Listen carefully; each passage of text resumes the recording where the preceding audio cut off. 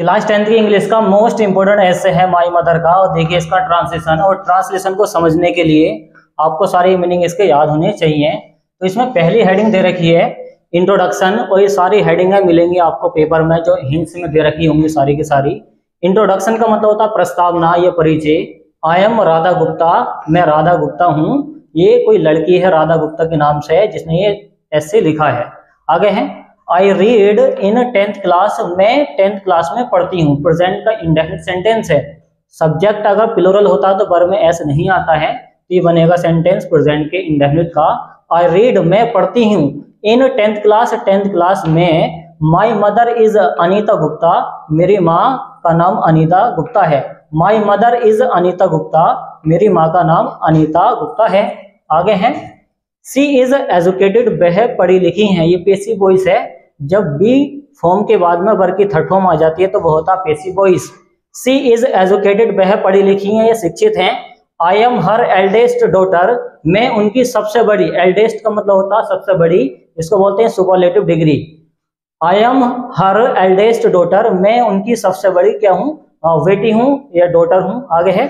सी loves वह प्यार करती हैं. देखिए सब्जेक्ट के बाद में फिर से वर्ग की फ़र्स्ट फॉर्म आ गया एस तो वह प्यार करती हैं मी मुझसे. वेरी मच बहुत ज़्यादा। ऐसा कौन बता रही है? ऐसा बता रही है राधा गुप्ता। किसके बारे में? अनिता गुप्ता के बारे में उनकी माँ है। नेक्स्ट वाली हेडिंग है ड्रेस एंड बिहेवियर उनकी जो ड्रेस और व्यवहार है, वो कैसा है? She is a religious lady वह एक धार्मिक औरत है। वह एक धार्मिक लेडी है, औरत है। हु जो? हु का मतलब देखिए कंजक्शन के रूप में आया यहाँ पर। इसका मतलब निकलेगा जो। नहीं तो इसका मतलब कौन भी होता है? क्वेश्चन वर्ड के अंदर, जो हु का मतलब होता है जो। ये आया कंजक्शन के लिए। कंजक्शन का मतलब होता है जब दो सेंटेंस को कोई वर्ड जोड़ता है, उसको बोलते हैं कंजक्शन ये पढ़ोगे तुम इंटर में कंजक्शन हु का मतलब है जो।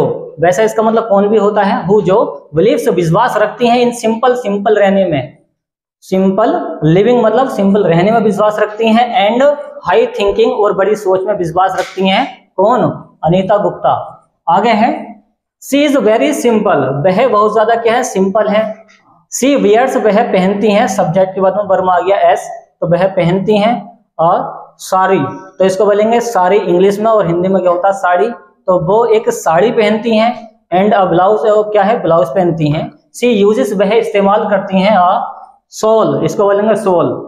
इन विंटर सर्दियों में तो सर्दियों में क्या है? सोल ओढ़ती हैं। हर ड्रेस उनकी जो ड्रेस है इज़ ऑलवेज वो हमेशा प्रेस्ड वो रहती है प्रेस होगी। तो उनकी जो ड्रेस है वो हमेशा प्रेस होगी रहती है। सी इज़ वेरी काइंड वह बहुत ज़्यादा दयालु हैं। दयालु का मतलब जो नम, जो नम्र दिल की होते हैं उसको बोलते हैं। एंड जेंटल और क्या है? सभ्य हैं। सभ्य का मतलब होता है पढ़ी लिखी।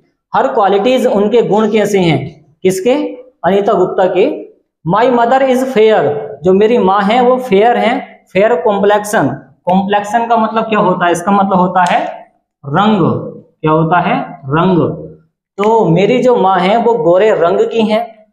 कॉम्प्लेक्शन का मतलब होता है रंग। सी इज़ स्मार्ट वह स्मार्ट है एंड एक्टिव और क्या है? एक्टिव है। सी इज़ रिलीजियस वह धार्मिक है। धार्मिक माइंडेड टू तो वह धार्मिक माइंडेड टू मतलब धर्म को ज़्यादा मानती हैं। She is an ideal mother देखिए बोबिल से पहले इसमें क्या आ गया है? एन आ गया है, नहीं तो यहाँ पर क्या आता? ए आता। तो she is an ideal mother वह एक आदर्शवादी मदर है। हु का मतलब होता है? जो केयर्स जो देखभाल करती हैं। फिर से प्रेजेंट का इंडेफिनेट सेंटेंस बर्माइया एस तो वह देखभाल करती हैं, या जो देखभाल करती हैं एंड लव्स और प्यार करती हैं, हर चिल्ड्रन अपने बच्चों से। She is fond of reading तो वह पढ़ाई की शौकीन है एंड सिंगिंग और गाना गाने की मतलब सिंगिंग करने की शौकीन है। नेक्स्ट वाली हेडिंग है जो कंक्लूजन आती है कंक्लूजन का मतलब होता है निष्कर्ष या निचोड़। तो पूरे के पूरे ऐसे का निचोड़ बताया जाएगा। किसके? ऐसे के बारे में बताया जाएगा। My mother is an ideal यहाँ पर आइडियल होता। My mother is an ideal lady जो मेरी माँ है, एक आदर्शवादी औरत है। आदर्शों को ज़्यादा मानती हैं। सी इज़ एन एक्सीलेंट वह एक बहुत अच्छी कुक है। कुक का मतलब होता है जो रसोई होता है जो खाना अच्छा बनाती है, उसको बोलते हैं कुक। तो वह बहुत अच्छी कुक हैं मतलब खाना अच्छा बनाती हैं। सी इज़ ऑलवेज, वह हमेशा बिज़ी रहती हैं, व्यस्त रहती हैं। इन डूइंग कुछ ना कुछ करने में वन थिंग किसी काम को। सी हेट्स वह नफरत करती हैं। देखिए, सबसे ज़्यादा सेंटेंस चलता है प्रेजेंट का इंडेफिनिट या प्रेजेंट का सिंपल तो वह नफरत करती हैं टेलिंग लाइज झूठ बोलने से। तो वह झूठ बोलने से नफरत करती हैं। सी इज़ वेरी वह बहुत ज़्यादा स्वीट टेम्पर्ड।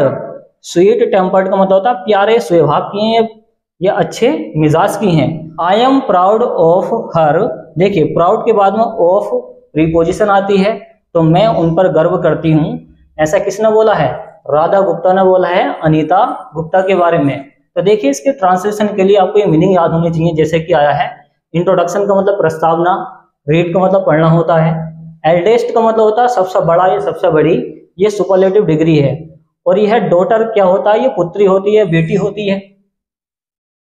एजुकेटेड का मतलब होता है शिक्षित होना, या पढ़े लिखे होना। और बिहेवियर व्यवहार होता है रिलीजियस धार्मिक होता है बिलीव्स विश्वास होता है। और वियर्स होता पहनना, ये आप जानते हैं और इन विंटर सर्दी में होता है और हाई थिंकिंग अच्छा वर्ड है। इसका मतलब होता है बड़ी सोच या ऊँची सोच रखना। फेयर सब जानते हैं फेयर कलर के होता है। और कॉम्प्लेक्शन क्या होता है? रंग होता है। केयर्स होता, देखभाल करना फॉन्ड होता, शौकीन कंक्लूजन होता, निष्कर्ष टेम्पर्ड होता है, स्वभाव, और हेड्स होता, नफरत करना टेलिंग लाइज होता, झूठ बोलना, और ये भी अच्छा वर्ड है, और ये भी अच्छा वर्ड है एक्सीलेंट और एक्सीलेंट आता बहुत अच्छे के लिए।